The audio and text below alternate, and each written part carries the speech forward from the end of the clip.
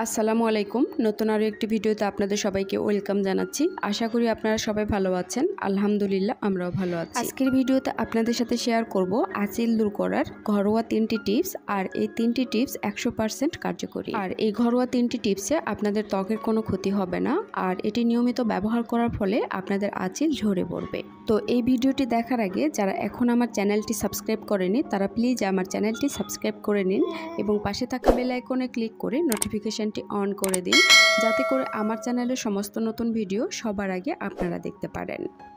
তো বন্ধুরা, চলুন এবার তাহলে আমরা মূল ভিডিওতে চলে যাই। বন্ধুরা, প্রথম টিপসের জন্য আমি এখানে নিয়েছি একটি রসুন কোয়া। আর রসুন কোয়া আমাদের আঁচিল দূর করতে অনেক বেশি সাহায্য করে এবং রসুন কোয়া আমাদের আঁচিল খুব তাড়াতাড়ি দূর করে দেয়। তো প্রথমে আপনারা এরকম একটি রসুন কোয়া নেবেন, আর এই রসুনটা আপনারা কুচিও করে নিতে পারেন অথবা বেটে নিতে পারেন। তো এই রসুনের খোসাটা আমি সেরে নিয়েছি আর এখন আমি এই রসুনটাকে পেস্ট করে নিব। আপনারা চাইলে এই রসুনটাকে কুচি কুচি করেও আঁচেলের ওরে লাগিয়ে রাখতে পারেন, তবে পেস্ট করে নিলেই বেশি ভালো হবে। তো রসুন কোয়া এভাবে পেস্ট করে আপনারা ফ্রিজে রেখেও এই রসুন কোয়া প্রতিদিন আঁচিলের উপরে ব্যবহার করতে পারেন। তো রসুন পেস্ট করা হয়ে গেলে এরকমভাবে আঁচিলের উপরে আপনারা দিয়ে নেবেন। তো আমার যেহেতু আঁচিল নেই, সেহেতু আমি আপনাদের হাতে দিয়ে দেখিয়ে দিচ্ছি। এভাবে আঁচিলের উপরে দিয়ে আপনারা তুলার সাহায্যে আপনারা সারা রাতের জন্য রেখে দিতে পারেন। তারপরে শুকিয়ে গেলে হালকা গরম পানি দিয়ে ধুয়ে ফেলবেন। তো এই টিপসটা আপনাদের পনেরো দিন ব্যবহার করতে হবে, তারপরে আঁচিল একেবারে ঝরে পড়বে। তো আশা করি প্রথম টিপসটা আপনাদের কাছে ভালো লেগেছে। তো এবার আমি যাচ্ছি দ্বিতীয় নাম্বার টিপসে। তো দ্বিতীয় নাম্বার টিপসের জন্য আমি এখানে নিয়েছি নর্মাল সাদা ভিনেগার।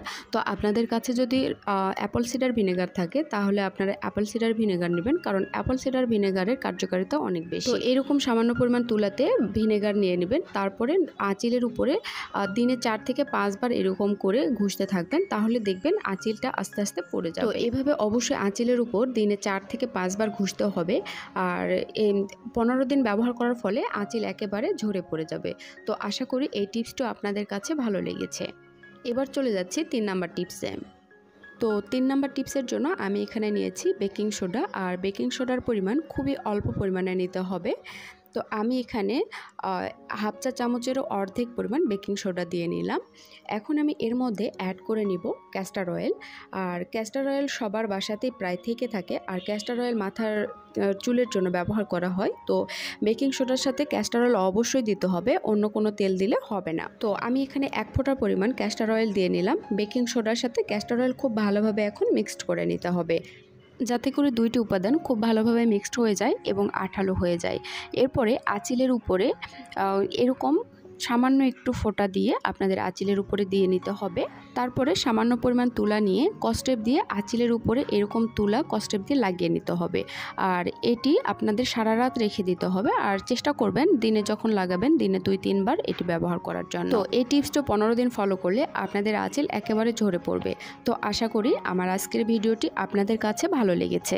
আমার ভিডিওটি যদি ভালো লাগে, তাহলে অবশ্যই আমার ভিডিওতে একটি লাইক এবং কমেন্ট করতে ভুলবেন না। সেই সাথে আমার চ্যানেলটি সাবস্ক্রাইব করে নেওয়ার জন্য অনুরোধ রইল। দেখা হবে পরবর্তী কোনো নতুন ভিডিওতে। সেই পর্যন্ত সবাই ভালো থাকবেন, সুস্থ থাকবেন। আমাদের জন্য দোয়া করবেন। আল্লাহ হাফেজ।